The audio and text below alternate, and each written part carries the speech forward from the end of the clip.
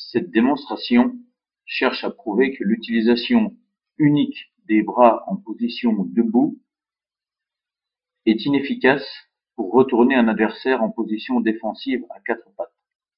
Les forces de traction ou d'arrachement exercées au-dessus du centre de gravité de l'adversaire ne permettent pas au lutteur offensif de retourner efficacement ni même de déplacer son adversaire.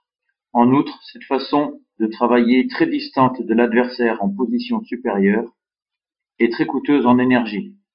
Il convient donc pour le lutteur offensif d'adopter une position beaucoup plus efficace en abaissant son centre de gravité pour le rapprocher au maximum de celui de son adversaire et en venant se positionner torse contre torse. Il pourra utiliser ainsi une force naturelle peu coûteuse en énergie, sa propre masse corporelle. Les forces exercées sont alors plus horizontales ou obliques en direction du sol.